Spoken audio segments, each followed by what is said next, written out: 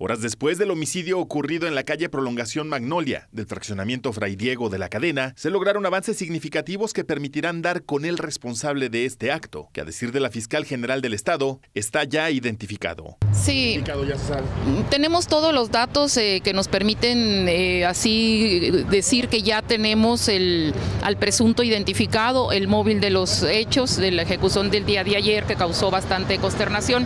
Tenemos ya con mucha claridad, digo que agradecemos el apoyo de los, eh, de los comercios aladeños, aladeños al lugar de los hechos que nos permitieron revisar sus videos, que nos dio con mucha claridad elementos para actuar de inmediato. Hoy tenemos, este, estamos ahorita eh, trabajando esa carpeta para solicitar lo que corresponda al juez. Descartó además que sea un hecho derivado de actividades del crimen organizado e incluso confirmó que se deriva de problemas familiares. Por fortuna sí, eh, comentarles que es, eh, este el tema fue un asunto de disputa entre familias por unas tierras de un municipio.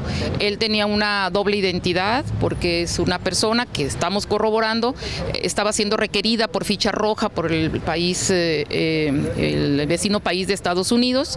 no lo puedo asegurar hasta que no confirme firme para poder tener los datos precisos. Cabe recordar que fue alrededor de las 19.20 horas del pasado jueves cuando un sujeto que llegó a bordo de una camioneta Toyota Hilux de color gris se acercó a Luis Alberto Carreño Duarte de 43 años de edad y le disparó en al menos tres ocasiones, dejándolo herido de muerte en plena prolongación Magnolia, en una zona en la que se encuentran varios establecimientos comerciales. Después huyó a bordo de su unidad, misma que abandonó a unas seis cuadras de distancia del lugar de los hechos para enseguida irse caminando, sin que hasta el momento se conozca su paradero.